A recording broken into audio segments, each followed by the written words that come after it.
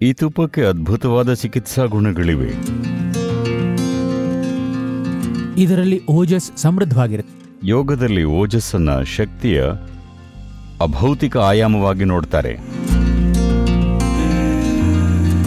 ಗಾಯ ಅಥವಾ ಯಾವುದೇ ಖಾಯಿಲೆಯಿಂದ ಸುಲಭವಾಗಿ ಚೇತರಿಕೆಯಾಗುತ್ತೆ.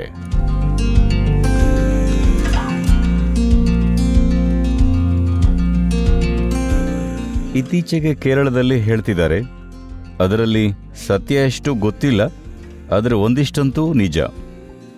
ಜನರು ತುಪ್ಪನ ಮಣ್ಣಿನಲ್ಲಿ ಹೂತು ನೂರು ವರ್ಷಕ್ಕೂ ಹೆಚ್ಚು ಕಾಲ ಸಂರಕ್ಷಿಸಿಟ್ಟಿದ್ದಾರೆ. ಈ ತುಪ್ಪಕ್ಕೆ ಅದ್ಭುತವಾದ ಚಿಕಿತ್ಸಾ ಗುಣ ಇದೆ ಅಂತಾರೆ. ಅದನ್ನ ಶತ ಅಂತಾರೆ. ಶತ ಅಂದ್ರೆ ನೂರು ವರ್ಷ. ಶತವರ್ಷ ಶತ ಸಂವತ್ಸರಂ ಘೃತಂ. ಅಂದರೆ ತುಪ್ಪನ ಮಡಿಕೆಯಲ್ಲಿಟ್ಟು ಮಣ್ಣಿನೊಳಗೆ ನೂರು ವರ್ಷ ಹೂತಿಡೋದು ತುಪ್ಪ ಅಷ್ಟು ವರ್ಷಗಳ ಕಾಲ ಮಣ್ಣಿನೊಳಗೆ ಇದ್ದಾಗ ಅದರ ಅಣುಗಳಲ್ಲಿ ಏನೋ ಒಂದು ಬದಲಾವಣೆ ಆಗುತ್ತೆ. ಆ ತುಪ್ಪದಲ್ಲಿ ಓಜಸ್ ಸಮೃದ್ಧವಾಗಿರುತ್ತೆ. ತೇಜಸ್ ಹಾಗೂ ಪ್ರಾಣ ಕೂಡ ಅಧಿಕವಾಗಿ ಇರುತ್ತೆ. ಯಾಕೆಂದರೆ ವಾತದೋಷದ ಸತ್ವ ಪ್ರಾಣ. ಪಿತ್ತದ ಸತ್ವ ತೇಜಸ್ ಹಾಗೂ ಕಫದ ಸತ್ವ ಓಜಸ್. ಜೀವಕೋಶಗಳ ಮಟ್ಟದಲ್ಲಿ ಓಜಸ್, ತೇಜಸ್, ಪ್ರಾಣ ಇವು ಕೋಶದ ಚಯಾಪಚಯ ಚಟುವಟಿಕೆ, ಬುದ್ಧಿಶಕ್ತಿ ಮತ್ತು ಸಂವಹನವನ್ನ ನಿರ್ವಹಿಸುತ್ತೆ. ಪ್ರಾಣ ಅಂದರೆ ಸಂವಹನ ಕ್ರಿಯೆ. ಕೋಶ ಮಟ್ಟದಲ್ಲಿ ಓಜಸ್, ತೇಜಸ್, ಪ್ರಾಣ ಕಾರ್ಯನಿರ್ವಹಿಸ್ತಾ ಕೋಶದ ಆಯಸ್ಸನ್ನ ವರ್ಧಿಸ್ತಾ ಇವೆ. ಹಾಗಾಗಿ ಈ ನೂರು ವರ್ಷದ ಹಳೆಯ ತುಪ್ಪ ಪುರಾಣ ಘೃತಂ, ಎಕ್ಸಿಮಾ, ಸೊರಾಯಾಸಿಸ್ಗೆ ಒಳ್ಳೆಯ ಔಷಧಿ. ಆಂತರಿಕವಾದ peptic ulcer, ulcerative colitis IBS, irritable bowel syndrome autoimmune ಕಾಯಿಲೆಗಳನ್ನು ಗುಣಪಡಿಸುತ್ತೆ. ಈ ಪುರಾಣ ಘೃತಂ, ಶ್ರೇಷ್ಠಂ ಓಜಸ್ಕರಂ ಪರಂ. ಇದು ಓಜಸ್ಸನ್ನು ಹೆಚ್ಚಿಸುತ್ತೆ.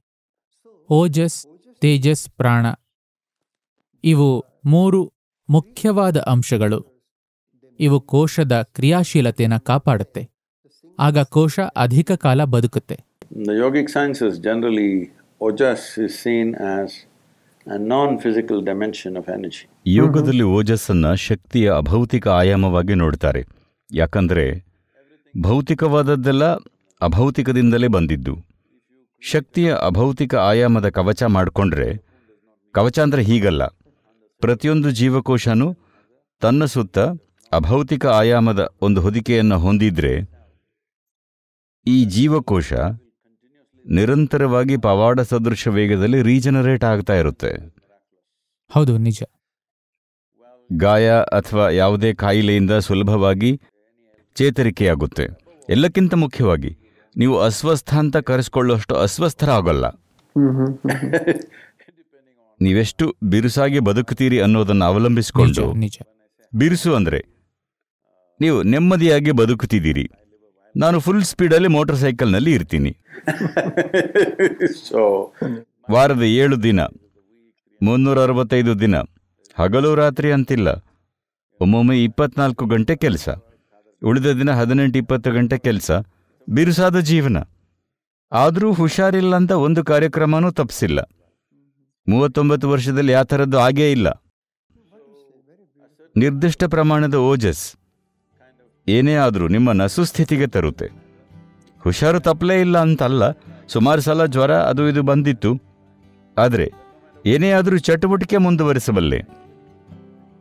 ಹಾಗಾಗಿ, ನೀವು ಹೇಳಿದ್ರ ಬಗ್ಗೆ ನನಗೆ ಆಸಕ್ತಿ ಇದೆ. ಓಜಸ್ ಅಂದರೆ, ಅದು ಭೌತಿಕವಲ್ಲದ ಶಕ್ತಿಯಾಗಿದೆ. ನಿಮ್ಮ ಪ್ರತಿ ಜೀವಕೋಶನೂ ಅದರಿಂದ ಯಾವಾಗಲೂ ಹೊದೆಯಲ್ಪಟ್ಟಿದ್ರೆ ನಿಮಗೆ ಚೇತರಿಕೆ ಅಥವಾ ಭೌತಿಕ ವಿಷಯಗಳ ಪ್ರಭಾವವನ್ನು ಮೀರೋ ಸಾಮರ್ಥ್ಯ ಇರುತ್ತೆ.